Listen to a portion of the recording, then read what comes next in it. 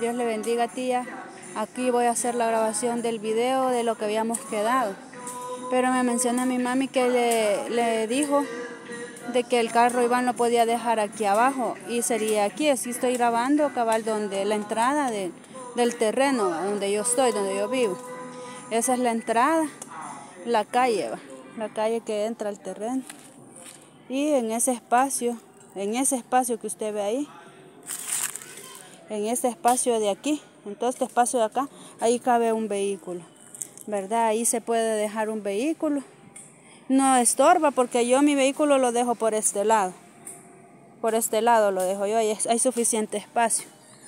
Y ahí están las gradas de llantas que nos van a llevar hacia arriba, hacia el, el espacio que usted quiere que veamos, el espacio donde ustedes van a vivir, primero Dios.